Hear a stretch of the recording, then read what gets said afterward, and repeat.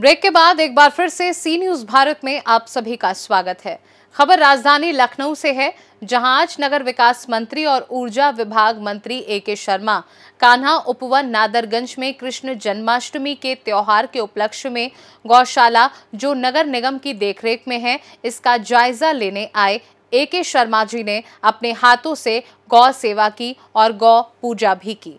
उन्होंने बताया, नगर विकास की देखरेख में कान्हा उपवन में 9000 गायों की सेवा एवं खान पान की व्यवस्था नगर विकास विभाग देख रहा है और अंत में उन्होंने गौ सेवा के लिए आम जनमानस को भी प्रेरित किया। कान्हा उपवन में हम लोग आज खड़े हैं। आज हमारे साथ कैबिनेट मिनिस्टर उत्तर प्रदेश सरकार में ए शर्मा जी। सर आज बोला है कि आप जितने भी थानाओं में हैं, बोला है कि कृष्ण जन्माष्टमी धूमधाम से मनाई जाएगी। तो आज आप आए हैं सर आज आपको क्या है आपको लगा कृष्ण जन्माष्टमी पे सबसे पहले तो मैं सभी देशवासियों को, प्रदेशवासियों को बहुत बहुत अपनी शुभकामनाएँ देता हूँ। भगवान श्री कृष्ण की पूजा करने के साथ साथ हम सब ये याद रखें, भगवान कृष्ण को गौ माता बहुत ही प्रिय थी।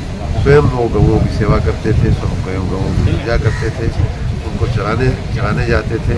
इस, इतना ज़्यादा उनको गौ माता से प्रेम था, इसका मतलब ये हुआ कि अगर भगवान कृष्ण जो जगदीश्वर कहे जाते हैं, जगत के पालक कहे जाते हैं, वो अगर गौ की सेवा करते थे तो हम मनुष्यों के लिए तो बहुत ही बड़ा एक कर्तव्य, बहुत बड़ा धर्म है, गौ माता की सेवा करना।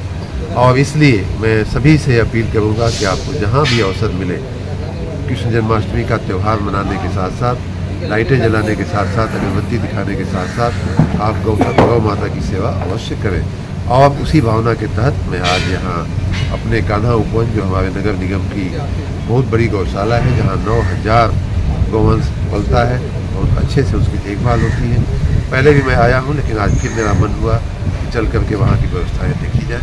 और मुझे बहुत संतोष है, बहुत अच्छे से यहाँ की का संचालन हो रहा है। आपके मार्फत मैं जनता से इस बात की फिर से अपील करूँगा कि जितना हो सके, जहाँ हो सके, जैसे हो सके, आपको माता की सेवा करें। कोई इसको गौशालाओं को डोनेशन देकर कर सकता है कोई भूसे और चारे का डोनेशन देकर कर, कर सकता है। कोई असहाय और निर्बल पड़ी हुई गौ माता को सही ढंग से गौशाला तक पहुँचाने के लिए हमारे नगर निकायों का संपर्क करके टेलीफोन करके भी गौ माता की, की की सेवा आप कर सकते हैं। तमाम प्रकार से आप गौ माता की सेवा करें आपके परिवार को उनका आशीर्वाद बहुत ही फलेगा और बहुत ही फलदायी सर जैसे आपने छिटका पुष्पों की बात की थी कि जहाँ भी रास्ते में मिलता है मरा हुआ मिलता है तो आप नगर निगम को फ़ोन कर विपक्ष भी हमेशा यही आरोप लगाता है कि छुट्टा पुष्प में इतना घूमते हैं जिसकी वजह से आम जनमानस को नुकसान पहुँचता है घायल होता है। तो उसके बारे में क्या कहना देखिए चूँकि जन्माष्टमी का पर्व है तो उसी से नज़ीर लेते हुए भगवान कृष्ण को भी आपने फ़ोटो आपने देखा होगा।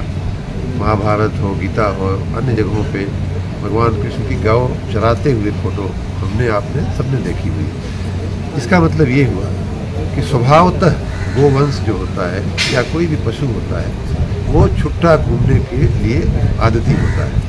उसको बांधने का काम तो हमने अपने स्वार्थ के लिए किया है। समय बीता, वो जहाँ जंगल में घूमते थे, खेतों में घूमते थे, उसकी जगह हम आपने हम हमने आपने महल बना लिए, बिल्डिंगें बना ली, स्कूल, कॉलेज बना लिए। इसके लिए उनकी चारागाह की जगह कम हो गई, सड़कें बन गई, चारागाह की जगह कम हो गई। अगर वो छुट्टा घूम रहे हैं तो इसमें उनका दोष नहीं है। इसमें जो विकास हुआ है, मानव समाज ने जो विकास किया है, उसका परिणाम है कि उनको छुट्टा घूमना, सड़कों पर घूमना पड़ता है। इसमें कहीं किसी सरकार का या किसी समाज का उन्हें दोष देने की आवश्यकता नहीं है। हाँ हमें इस बात की चिंता करने की अवश्य आवश्यकता है कि हम उनका कैसे, हम अच्छे से उसको संभालें। जैसे यहीं का उदाहरण दूँ मैं, कान्हा गौशाला उपवन में हम लोग खड़े हैं तो आपको बताया गया कि बहुत से ऐसे लावारिस जो होते हैं, पशु होते हैं, कई बार असहाय स्थिति में पड़े होते हैं, कई बार उनका एक्सीडेंट हो जाता है और सड़कों पे वो पड़े रहते हैं। ऐसी स्थिति में उनकी सेवा का एक बहुत बड़ा अवसर है कि हम उनको सही जगह पे पहुँचा करके, सही उपचार हम उनका करावें। विपक्ष की जहाँ तक बात है, जब वो सत्ता में थे, तब उनसे पूछना चाहिए कि आपने गोवंश के लिए क्या किया? गौ माता के लिए क्या किया?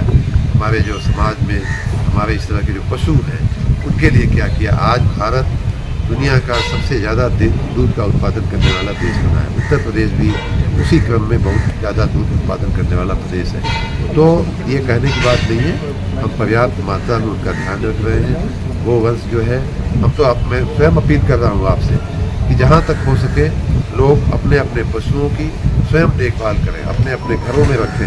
हम लोग छोटे थे, हमारे गाँव में, मुझे याद है, हमारे घर में स्वयं कुछ गाय, कुछ भैंस, कुछ बैल पलते थे आठ आठ दस दस पशु हुआ करते थे और हम सभी उनकी सेवा करते थे। उनका गोबर साफ़ करते थे, उनको चारा खिलाते थे। लेकिन आज वो संस्कृति थोड़ा लुप्त तो होती जा रही है। मैं जनता से अपील करूँगा कि अगर आप गौ का दूध निकालते हैं, गौ के दूध से आप लाभान्वित होते हैं, या बैल की आप सेवा लेते हैं किसी तो उन्हें पालने का भी काम करिए। ऐसा नहीं होना चाहिए। गाय ने दूध देना बंद कर दिया और आपने आपने अपने खूटे से उसको छोड़ करके उसको छुट्टा छोड़ दिया। तो ये हमारे समाज को अंदर झांकने की आवश्यकता अवश्य है। लेकिन विरोधियों को या विपक्ष के लोगों को उनसे बेहतर हम सेवा कर रहे हैं। अभी मैं पूछ रहा था हमारे यहाँ के कानापुर के संचालक लोगों से कि आपको सरकार से जो पचास रुपये मिलता है प्रति पशु, वो मिल रहा है कि नहीं? उन्होंने कहा, नहीं मिल रहा है। पहले तीस रुपया था। उसके पहले कुछ भी नहीं था। अब उसको बढ़ा करके माननीय मुख्यमंत्री जी ने पचास रुपया किया है। तो इस प्रकार हम निरंतर पशुओं की चिंता कर रहे हैं। हमारे साथ उत्तर प्रदेश सरकार में ए के शर्मा जी मंत्री आज वो कान्हा उपवन में आए थे और गौ वंशियों का जो संचालित कार्यक्रम हो रहा था, उसके बारे में बहुत सारी बातें बताई और उनके द्वारा ये भी पता चला कि यहाँ पे पर गाय जो उनको मिलता है, पचास रुपये का खर्च मिलता है नगर निगम द्वारा संचालित। Sumit Srivastava C news Bharat, Lucknow. फ़िलहाल इस खास रिपोर्ट में बस इतना ही। वक्त एक छोटे से ब्रेक का। ब्रेक के उस पार हम आपको और भी तमाम बड़ी खबरों से करवाएँगे रूबरू।